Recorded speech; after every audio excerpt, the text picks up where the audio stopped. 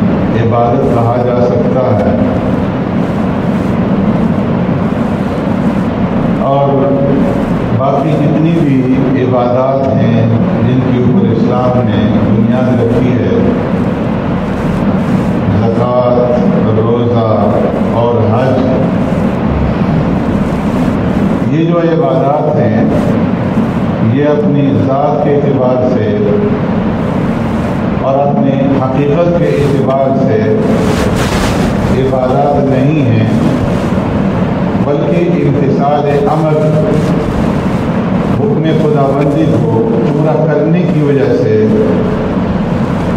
یہ عبادتیں کہلاتی ہیں۔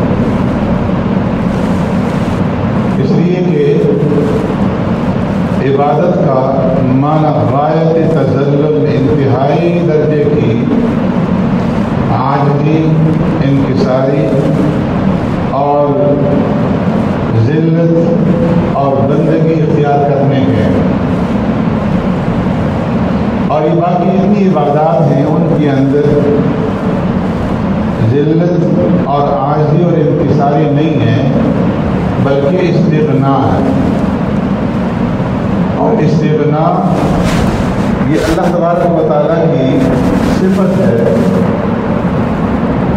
تو اس لیے اللہ کی صفت کے ساتھ مشابہت پیدا کرنا اس کے اندر ذلت نہیں ہے، بلکہ یہ انتہائی عزت کی چیز ہے۔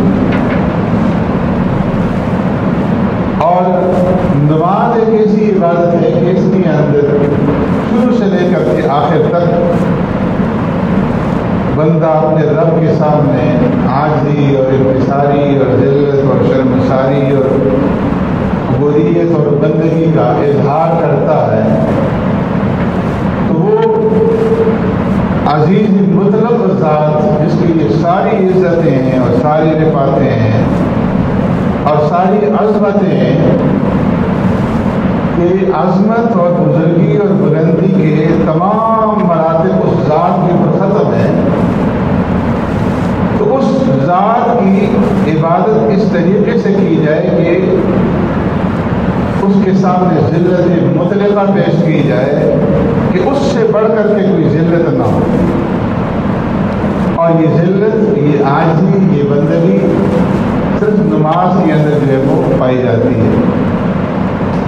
یہی وجہ ہے کہ اللہ تبارک و تعالیٰ نے اپنی مخلوقات میں سے تمام مخلوقات کو نماز کا پابند بنایا ہے۔ اور اللہ رب العزت نے فرمایا، کل قد علم صلاته وتسبیحا کہ اس کائنات کے اندر جتنی بھی مخلوقات ہیں ان تمام مخلوقات نے اپنی نماز کو بھی پہچان لی ہے اور اپنی تسبیحات جو ہیں، ان تسبیحات کو بھی پہچان لی ہے۔ جس طریقے سے ہر ایک مخلوق اپنی پیدائش کے بعد، اپنی خلقت کے بعد، طبی طور پر وہ اپنے کھانے پینے کے ڈھنگ کو پہچان لیتی ہے۔ اور اپنی طبیعت کے رنگ کو پہچان لیتی ہے، اس کو سکھلانے کی ضرورت نہیں پڑتی، تعلیم دینے کی ضرورت نہیں پڑتی۔ ایک مرغی کا بچہ جب انڈے سے باہر آتا ہے، تو اسے معلوم ہوتا ہے کہ میں نے دانہ کس طریقے سے چگنا ہے اور زبان کون سے بولنی ہے۔ ایک گائے کا بچہ، بکری کا بچہ، بھینس کا بچہ جب پیدا ہوتا ہے تو اسے تعلیم دینے کی ضرورت نہیں پڑتی کہ تم نے ماں سے دودھ کس طریقے سے پینا ہے اور گھاس کس طریقے سے کھانا ہے۔ بلکہ طبی طور پر، پیدائشی طور پر، خلقی طور پر اسے بھی معلوم ہوتا ہے کہ میں نے کس طریقے سے کھانا ہے اور کس طریقے سے پینا ہے۔ تو اسے تعلیم دینے کی ضرورت نہیں پڑتی۔ تو اس لیے فرمایا کہ اسی طریقے سے کل قد علم صلاح و تصویر جتنی بھی مخلوقات ہیں، کل یہ عموم کے اوپر دلال کرتا ہے، اس کا اطلاق جو ہے، تمام مخلوقات کے اوپر ہوتا ہے کہ جتنی بھی مخلوقات ہیں، جمادات ہیں، نباتات ہیں، حیوانات ہیں، مجردات ہیں، یہ تمام کی تمام جو مخلوقات ہیں کل قد علیمہ صلاح و تصویر یعنی نماز کے بارے میں معلوم ہے اپنی نماز کس طریقے سے ادا کرنی ہے اور جو اپنی تصویرات ہیں، ان تصویرات کے بارے میں بھی علم ہے۔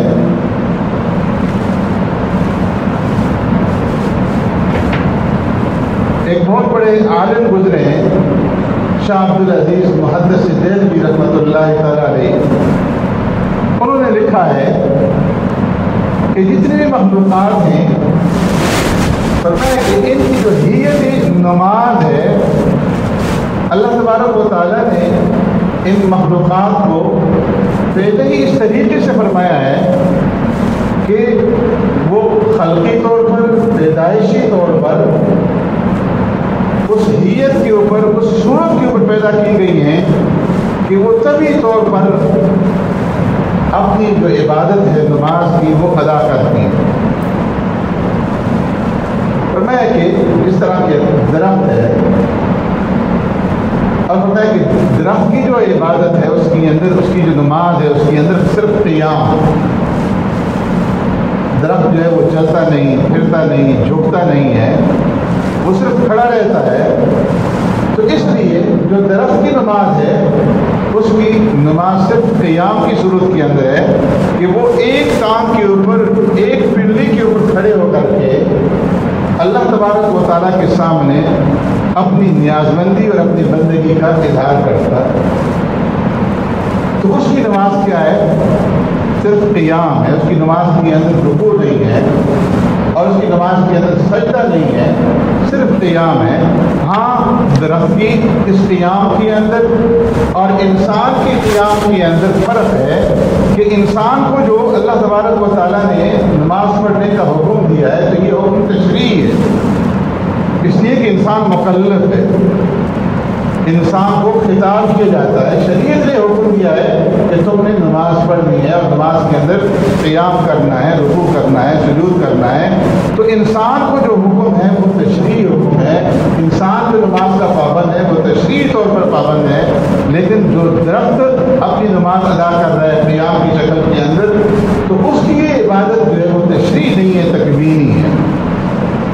کہ اللہ نے اس کو پہلے ہی صورت کے اندر کر دیا ہے کہ وہ قیام کے اندر اور اللہ کے سامنے کھڑا جو ہے وہ اپنے آج اور انکساری کا اظہار کر رہا ہے۔ اسی طریقے سے جتنے بھی چوپائے ہیں، چار پاؤں پہ چلنے والے، ان کی نماز کے اندر رکو ہے۔ اللہ نے ان کو پہلے ہی اس حیت کے اندر، اس شکل کے اندر، اس صورت کے اندر کر دیا ہے کہ وہ ہر وقت رکو کے اندر پڑے۔ ہوئے ہیں کی نماز کے اندر قیام نہیں ہے، سجود نہیں ہے، بلکہ جو پاؤں کی نماز کے اندر کیا ہے، صرف رکو ہے کہ وہ ہر وقت رکو میں پڑے ہوئے اللہ رب العزت کی بندگی کر رہے ہیں۔ اور پھر جتنے بھی حشرات الارض ہیں، کیڑے مکوڑے ہیں، زمین پر رینگنے والے جانور ہیں، تو میں ایک ان کی نماز کے اندر کیا ہے؟ سجدہ ہے۔ کہ وہ ہر وقت سجدے کے اندر پڑے ہوئے ہیں۔ اللہ نے ان کی حیت اور ان کی شکل اور ان کی صورت ایسی بنا دی ہے کہ وہ ہر وقت زمین کے اوپر رینگ رہے ہیں اور سجدے کے اندر پڑے ہوئے ہیں۔ تو ان کی نماز کیا ہے؟ سجدہ ہے۔ اور پھر جتنے پہاڑ ہیں، ان پہاڑوں کی جو نماز ہے، اس کے اندر قیام نہیں ہے، اس کے اندر رکوع نہیں ہے، اس کے اندر سجود نہیں ہے، بلکہ وہ اپنے دو زانوں ہو کر کے زمین کے اوپر بیٹھے ہوئے ہیں ان کی نماز کے اندر تشہد ہے اتحیات ہے عہود ہے، کہ وہ بیٹھنے کی حالت میں تشہد کی حالت کے اندر اللہ رب العزت کی عبادت کے اندر مصروف ہے اور پھر جتنے بھی اڑنے والے پرندے ہیں کہ ان کی نماز کے اندر عروج اور نزول ہے۔ کہ کبھی اوپر اڑ جاتے ہیں، کبھی نیچے آ جاتے ہیں۔ اور جب یہ اوپر کی طرف اڑتے ہیں تو یہ گویا قیام کے اندر چلے جاتے ہیں۔ جب نیچے کی طرف آتے ہیں تو گویا رکو کے اندر چلے جاتے ہیں۔ اور جب زمین کے اوپر اپنے پر بچھا کر کے بیٹھ جاتے ہیں تو گویا سجدے کے اندر پڑ جاتے ہیں۔ تو ان پرندوں کی نماز کے اندر کیا ہے؟ عروج اور نزول ہے کہ کبھی اوپر چلتے ہیں، کبھی نیچے آتے ہیں۔ اور فرمایا کہ جو جنت اور دوزخ ہے، ان کی نماز کے اندر سوال ہے، دعا ہے۔ کہ ان میں سے ہر ایک اللہ رب العزت سے یہ سوال کر رہی ہے اور دعا مانگ رہی ہے کہ اللہ، مجھے میرے مکینوں سے بھر دینا۔ میرے اندر جو لوگ آئیں گے، میرا پیٹ خالی نہ رہے، میرا پیٹ بھر دینا حدیث میں آتا ہے کہ جس وقت اللہ تبارک و تعالیٰ نے جنت اور دوزخ کو پیدا فرمایا تو دونوں نے اللہ تبارک و تعالیٰ سے یہ سوال کیا کہ قیامت کے دن ہمیں خالی نہ رکھنا، ہمارے پیٹ کو بھر دینا۔ اور اللہ تبارک و تعالیٰ نے دونوں سے یہ وعدہ کیا ہے کہ میں جہنم کو بھی بھروں گا اور میں جنت کو بھی بھروں گا۔ دونوں سے اس بات کا وعدہ ہے۔ اور قیامت کے بعد جب جہنم کے اندر کافروں کو ڈالا جائے گا، نافرمانوں کو ڈالا جائے گا اور ان کو ڈالنے کے باوجود جب جہنم کا پیٹ نہیں بھرے گا، اور وہ حل میں مزید، حل میں مزید کی صدا اور پکار جو ہے وہ پکارتی رہے گی۔ تو فرمایا کہ پھر اللہ تبارک و تعالیٰ پہاڑوں کو پیدا کریں گے اور پتھروں کے ذریعے سے اس جہنم کو بھرا جائے۔ گا اور پھر بھی اس کا پیٹ نہیں بھرے گا اور ہر دن مزید کی رٹ لگائے گی۔ وقت اللہ تبارک و تعالیٰ اپنا پاؤں مبارک جیسا کہ اللہ رب العزت کی شان اور اس کی جناب کے لائق ہے۔ اس پاؤں کو فرمایا کہ جہنم کے اوپر رکھیں گے، ایڑی کو رکھیں گے۔ تو اس وقت وہ کہے گی خط خط بس بس۔ اے اللہ، اب مجھے مزید کی ضرورت نہیں ہے اور وہ جہنم بھر دے گی۔ اسی طریقے سے جنت کے اندر اللہ تبارک و تعالیٰ اپنے ایمان کو داخل فرمائیں گے۔ اور اس وقت سارے اللہ کے فرما بردار بندے اب ایمان نیک وکار جنت کے اندر داخل ہو جائیں گے اور جنت پھر بھی نہیں بھرے گی، خالی رہے گی۔ تو پھر اللہ تبارک و تعالیٰ ایک نئی مخلوق پیدا فرمائیں گے اور اس مخلوق سے جو ہے پھر جنت کو بھرا جائے۔ آپ اندازہ لگائیں کہ جہنم کتنی بڑی ہے اور جنت کتنی بڑی ہے۔ کہ سب سے آخری انسان جو جنت کے اندر داخل ہوگا، حدیث کے اندر آتا ہے کہ اس کو دس دنیا جتنی جگہ جنت کے اندر عطا کی جائے یہاں پر ہم جو ہے، چند فٹوں کے لیے ایک دوسرے کا گلا کاٹ دیتے ہیں۔ اور جو سب سے آخر میں جہنم سے نکل کر کے جو مسلمان کلمہ کو ہوگا، جنت کے اندر پہنچے گا، تو دس دنیا جتنی جگہ سے جنت کے اندر عطا کی جائے گی۔ اور پھر بھی جنت نہیں بنے گی تو اللہ تبارک و تعالیٰ ایک نئی مخلوق جو وہ پیدا فرمائیں گے تو فرمائے کہ جنت اور جہنم کی نماز کیا ہے؟ سوال کرنا، دعا مانگنا اللہ سے۔ اور فرشتوں کی نماز جو ہے، فرمایا کہ اس کے اندر ایک تو سب بندی ہے کہ وہ سب باندھ کر کے کتار باندھ کر کے اللہ تبارک و تعالیٰ کے حضور حاضر ہوتے ہیں اور اللہ رب العزت کی عبادت جو ہے وہ بجا لاتے ہیں۔ اور پھر اللہ تبارک و تعالیٰ نے نماز کی جتنی حیتیں اور جتنی ارکان ہیں، جتنی اس کی شکلیں ہیں، اور پھر یہ ساری شکلیں جو اللہ تبارک و تعالیٰ نے سارے مخلوقات کے اندر تقسیم کی ہیں، یہ ان ساری شکلوں کے اوپر اللہ نے فرشتوں کو پیدا فرمایا ہے۔ بعض فرشتے ایسے ہیں کہ جو کروڑوں کی تعداد کے اندر ہیں کہ اپنی پیدائش کے وقت سے لے کر کے قیام قیامت تک وہ صرف قیام کے اندر کھڑے ہیں اور کھڑے ہو کر کے اللہ کی عبادت کے اندر مصروف ہیں۔ بعض انگنت فرشتے ایسے ہیں کہ جو رکوع میں پڑے ہوئے ہیں اور پیدائش کے وقت سے لے کر کے قیامت تک وہ رکوع میں رہیں گے اور بعض فرشتے ایسے ہیں کہ جو سجدے میں پڑے ہوئے ہیں اور وہ قیامت تک سجدے میں پڑے رہیں گے۔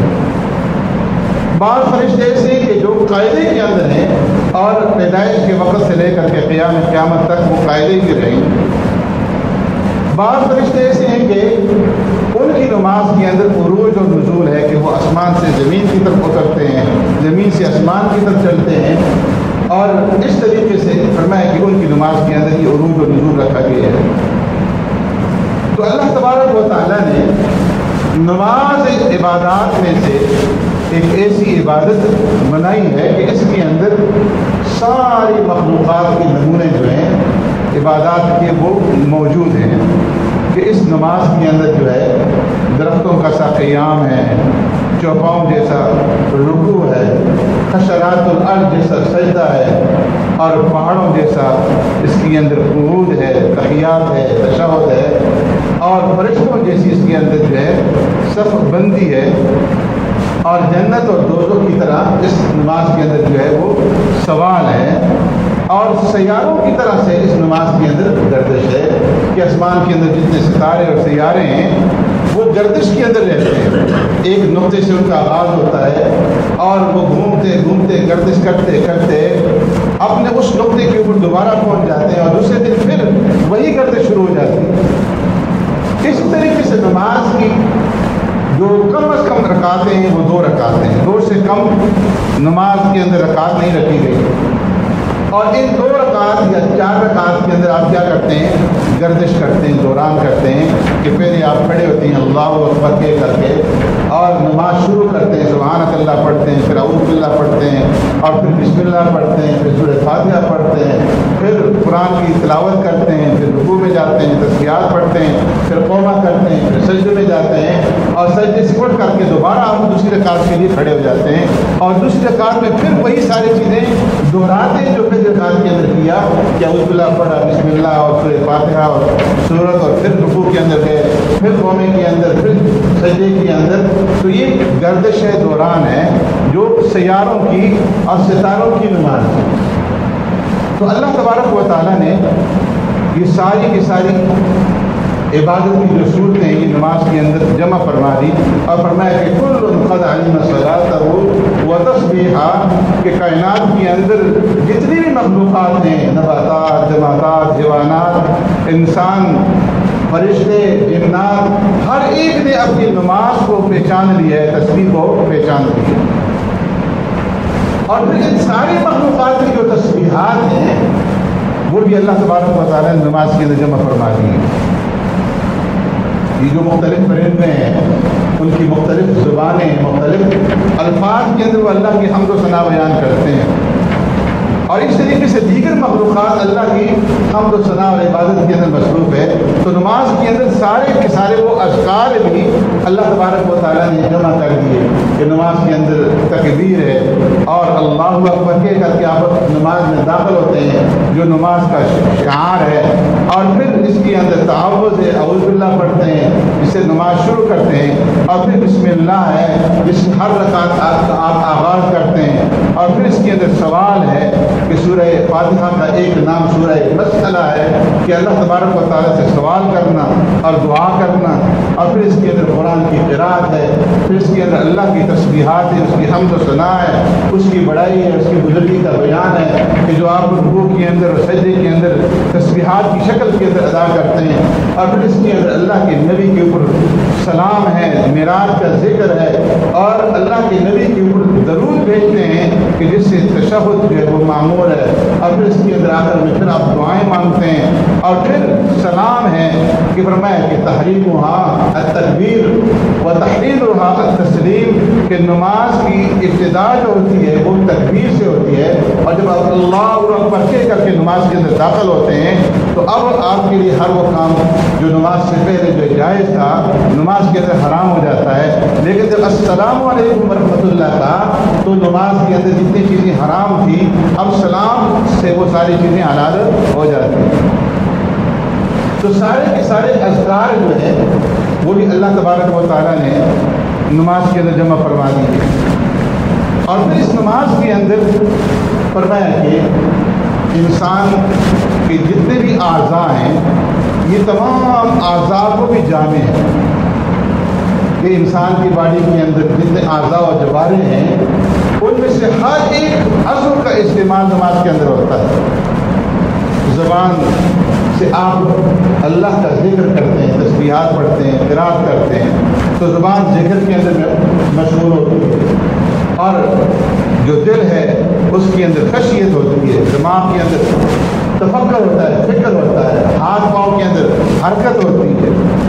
اور انگلیاں جو ہے کبھی منتشر ہوتی ہیں، کھلی ہوتی ہیں، کبھی جڑی ہوئی ہوتی ہے غیر منتشر ہوتی ہے اور پھر آپ رکوع کے اندر جاتے ہیں، سجدے کے اندر جاتے ہیں، تو باڈی کے جتنے بھی اعضاء ہیں، ہر ایک عضو اپنی اپنی جگہ پہ جو ہے وہ استعمال ہوتا ہے اور وہ اپنی طریقے سے نماز کے اندر اپنی شمولیت جو ہے وہ اختیار کرتا ہے۔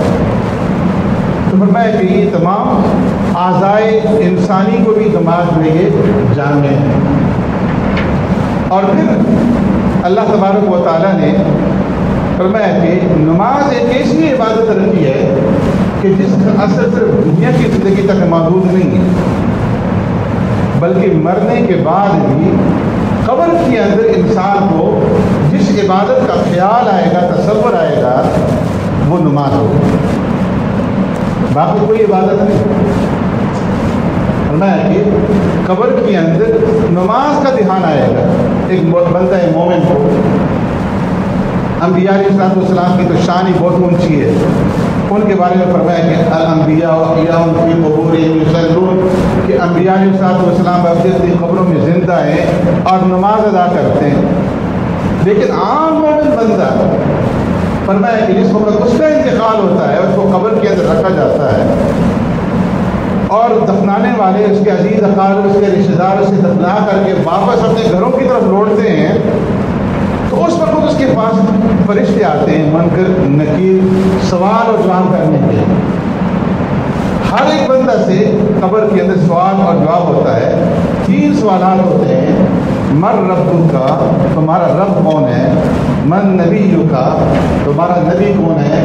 یا بعض روایات کے اندر ماتا فی حاضر رجول الدی کوئی سبھی کون کہ اس ہستی کے بارے میں تمہارا کیا خیال ہے کہ جو تمہاری طرف رسول بنا کر کے بھیجا گیا تھا؟ اس کے بارے میں تم کیا کہتے ہو؟ اور تیسرا جو ہے ماں دینوں کا، تمہارا دین کیا ہے؟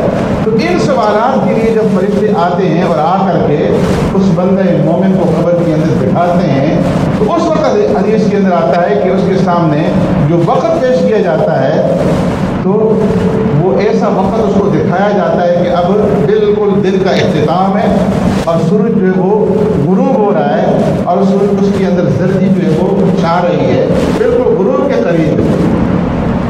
اب جب یہ فرشتے اس سے بٹھا کر کے سوال کرنا چاہتے ہیں وہ کہتا ہے داؤنی اسلی داؤنی اسلی ارے میاں پرے ہٹو مجھے چھوڑو میری نماز پتا ہو رہی مجھے نماز پڑھ رہے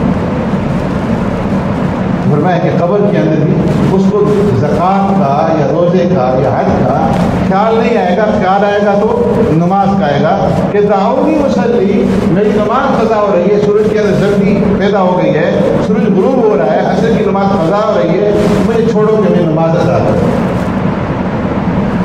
لیکن یہ کون کہے گا؟ تعاونی مسلی کہ جس نے دنیا کی اس زندگی کے اندر نماز پڑھنے کی عادت ڈالی ہو، جو نماز کا پابند ہو، جس آدمی کے اوپر روزانہ سورج جو ہے وہ غروب ہوتا رہا اور روزانہ اس کے سامنے سورج کی اندر جلدی آتی رہی، اس کی نماز قضا ہوتی رہی، اس کو پرواہ نہ رہی دنیا کی زندگی کے اندر، تو مرتے کے وقت جو ہے وہ یہ نہیں کہہ سکے گا کہ تعاونی مسلم وہی آدمی کہہ سکے گا کہ جس نے دنیا کے اندر نماز کی، پابندی کی ہو۔